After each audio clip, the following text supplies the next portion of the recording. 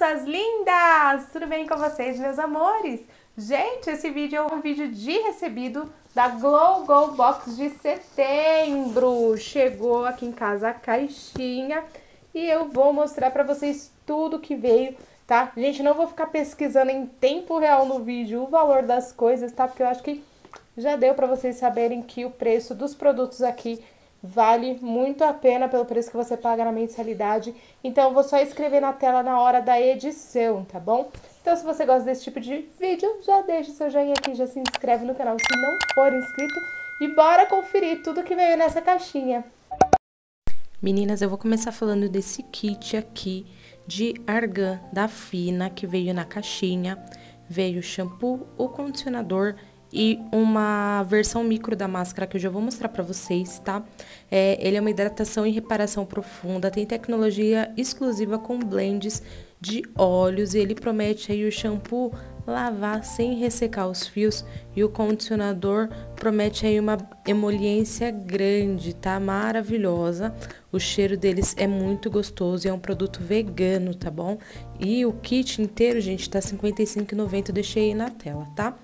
Essa é a máscara, gente. É, é uma versão de 50 gramas, tá? Ela só é vendida como kit de shampoo, condicionador e máscara, tá bom? Ela tem uma consistência bem boa aí, eu quase derramei do pote. E é isso.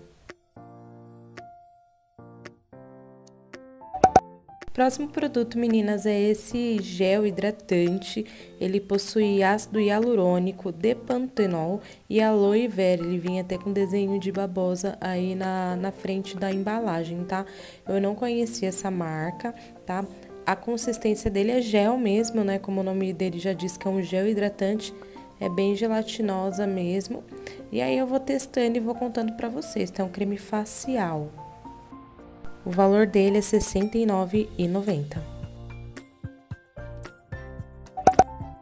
O próximo produto, meninas, é o The Magic Oil da Fina.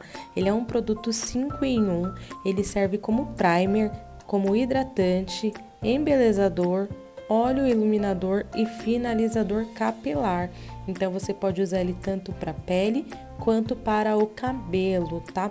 Ele é bem levinho, viu meninas? Eu já usei muito ele quando ele tinha outra embalagem. Ele não pesa os fios de forma alguma.